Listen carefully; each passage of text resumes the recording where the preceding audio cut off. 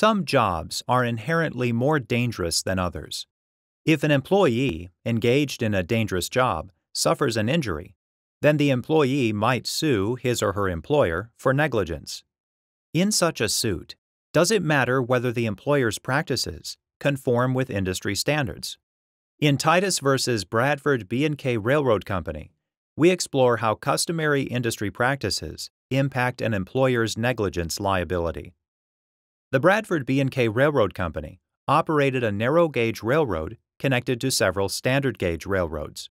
Bradford regularly transported standard gauge freight cars by removing them from their standard gauge trucks and placing them on narrow gauge trucks.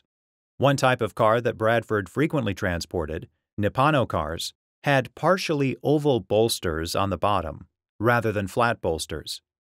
Because Bradford's trucks were designed to carry cars with flat bolsters, the bolsters of the Nypano cars had to be secured with wooden blocks and telegraph wire to prevent the cars from rocking on curves.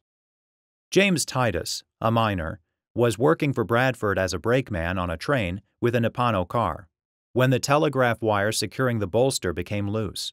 The car tipped over as the train rounded a curve, and James, who'd been sitting on top of the car, fell to the track and was run over. James died.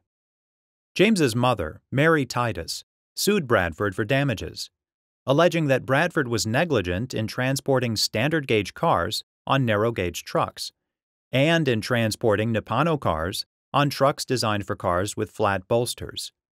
Bradford responded that its conduct wasn't negligent because it conformed with customary industry practices. Evidence at trial showed that narrow gauge railroad companies regularly transported standard gauge cars on narrow gauge trucks, and that Bradford regularly transported Nypano cars without incident. The trial court jury found Bradford negligent and awarded damages. Bradford appealed to the Pennsylvania Supreme Court.